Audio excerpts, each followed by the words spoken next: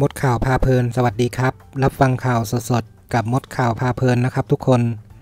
Big a d ประกาศยกเลิกงานคอนเสิร์ต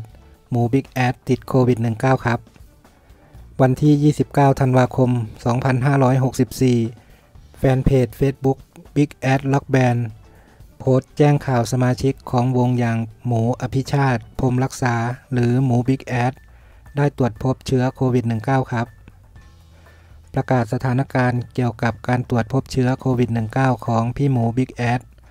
เนื่องด้วยเมื่อวันที่ 28 ธันวาคม 2564 ที่ผ่านมา พี่หมู Big a d ได้มีการสวอป ATK เพื่อตรวจหาเชื้อโควิด -19 ตามมาตรการตรวจคัดกรองเพื่อเข้าร่วมงานที่กำลังจะเกิดขึ้นเป็นปกติ โดยพบผลตรวจเป็นบวก โดยวันที่ 29 ธันวาคม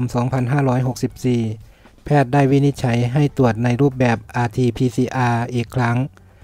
และได้รับผลยืนยันว่าติดเชื้อ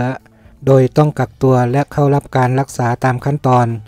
รวมถึงงดการแสดงและกิจกรรมต่างๆ ครับ เพื่อความมั่นใจและปลอดภัยกับทุกคน ทั้งนี้ทางวง Big a d ได้แจ้งให้ผู้ที่มีความเกี่ยวข้อง หรือใกล้ชิดกับพี่หมูในช่วงเวลาที่มีความเสี่ยง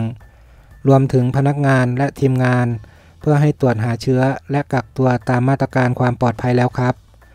พวกเรา Big a d และพี่หมูต้องขออภัยทางงาน Amazing Thailand เขาดาว